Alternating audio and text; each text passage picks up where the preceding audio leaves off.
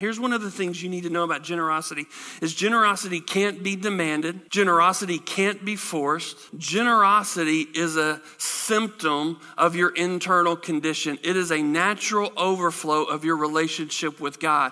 And so when you are connected to God, you are the tree that is planted in the word of God. You are a tree that is planted in the truth of God. You are a tree that is planted in the true spirit of God. And so what comes out of you is naturally what God God has put on the inside of you. And so when you're connected to God and you're a believer and you're a follower and you're a student of God's word, what naturally comes out of you, the fruit that is produced, is generosity. Why? Because generosity is always a response to love. That's why he says, I'm testing your love. I'm testing and seeing what it is that you love, what it is that you care about, because generosity will always respond and follow love.